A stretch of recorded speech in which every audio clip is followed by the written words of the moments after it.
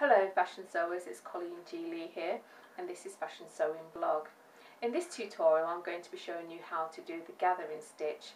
Uh, the gathers are all about giving a particular part of the garment that you're making and fullness and shape. So let's go ahead and get that done for you. Okay, this is a project that I'm working on at the moment and I'll just show you what the process is for uh, doing a gathering stitch. Okay, there's two rows of stitch in there. Okay, that is what you need to do in order to get the fullness that I was talking about earlier. So that's what you do for the first stage. And once you've done that, what happens is that you pull these threads, these tails here, until it looks like this. So we've got it there, and that's what it looks like. So that is the actual gathering, and as you can see, it's given that fullness. Okay, so that's the bust area, so giving fullness to the bust area, and I'll just quickly show you how I've done this on the sleeve as well. So there you have two rows, so it's going to be gathered on the head of the sleeve and also gathered at the lower part of the sleeve as well.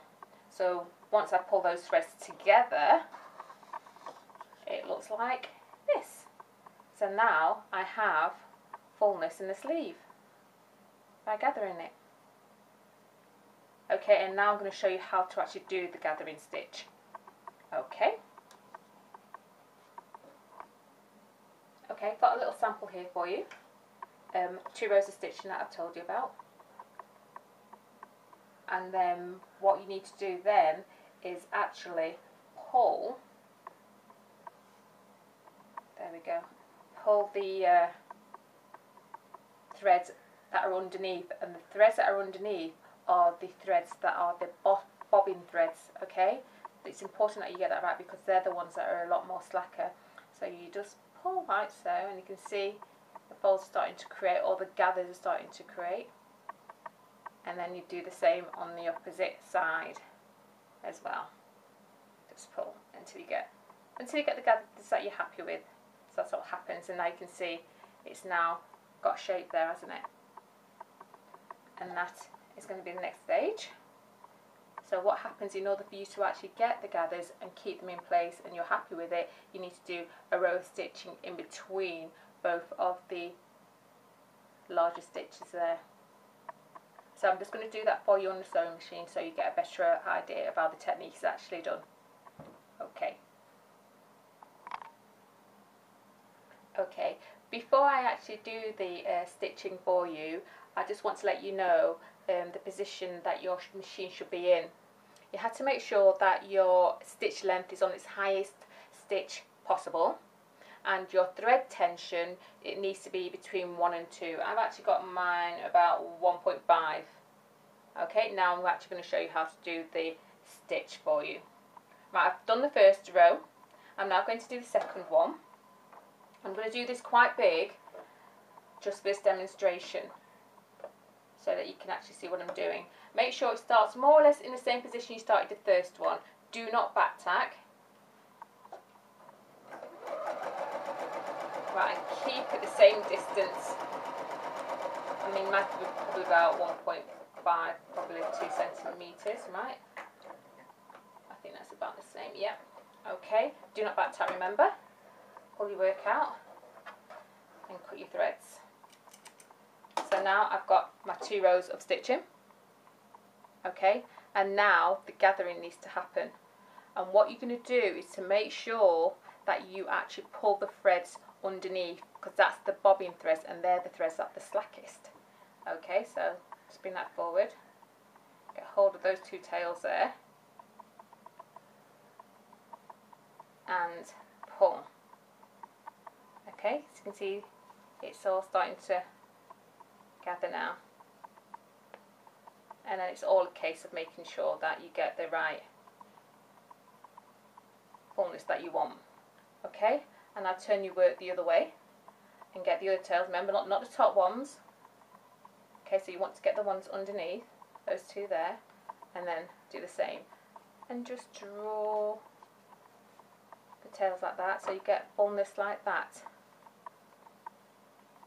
okay can be a bit fidgety okay right and then that is what you need to uh, I don't know the best way to express trap them those folds there those are your gathers so now you need to make sure that your stitch length is back to the required length that you do in your machines. I'm doing that now. Get mine to 2.5 there. And also make sure your thread tension goes back, otherwise your work will not um, sew properly. So I'm going to get that back to where I usually have it. I've done that now.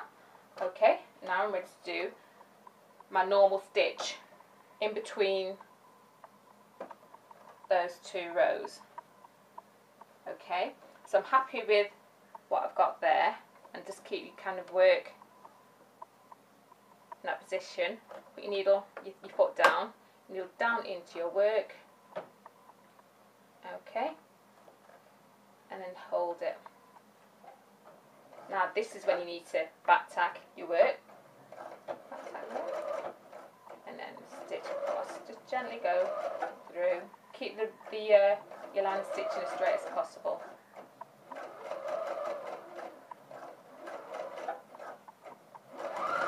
Right, okay. Good enough. work away.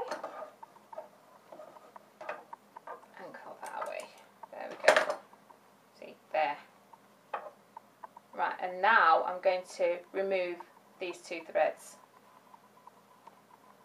It's just a case of, it should be quite easy to do.